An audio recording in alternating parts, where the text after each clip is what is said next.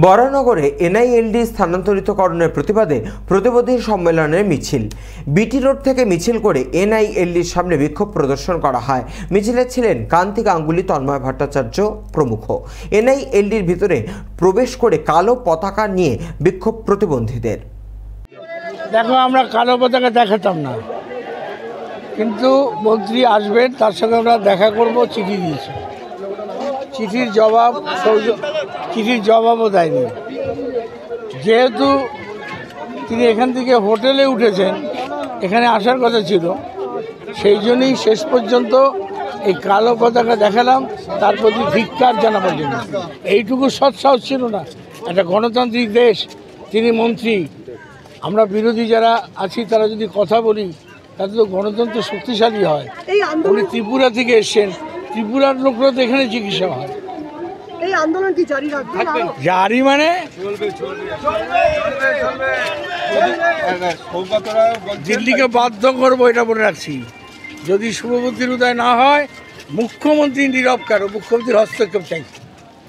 মুখ্যমন্ত্রীর হস্তক্ষেপ ব্যতি রেখে এই আন্দোলন আমরা বেশি দূর এগোতে পারি না। এটা বাংলার স্বার্থ।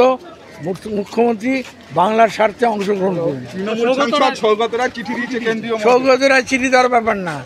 এটা এটা জ্যোতিবর জমি দিয়েছিল। এটা পূর্বাঞ্চলের হেডকোয়ার্টার রাজ্যের মুখ্যমন্ত্রীর হস্তক্ষেপ আর সৌগত রায়ের চিঠি দেওয়া এক না। এখন পর্যন্ত তো আমি সেরকম কোনো খবর পাইনি। বরঞ্চ এখানকার স্থানীয় কর্তৃপক্ষ কিংবা এখানকার কর্মচারী তাদের মনোভাব ভালো থাকলেও দিল্লির সরকার এই প্রতিষ্ঠানকে এখান থেকে তুলে নিয়ে যেতে চায় বলেই আমার ধারণা।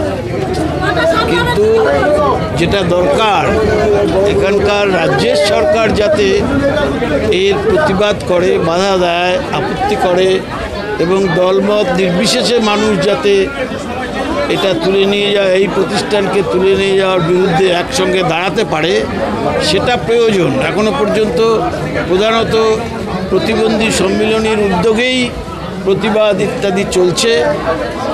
আমি আশা করব সমস্ত অংশের মানুষ বিভিন্ন সংগঠন দলমত নির্বিশেষে মানুষ এই প্রতিবাদে সামিল হবেন এবং উদ্যোগ নেবেন যাতে এই প্রতিষ্ঠানকে এখান থেকে তুলে নিয়ে যেতে না পারে।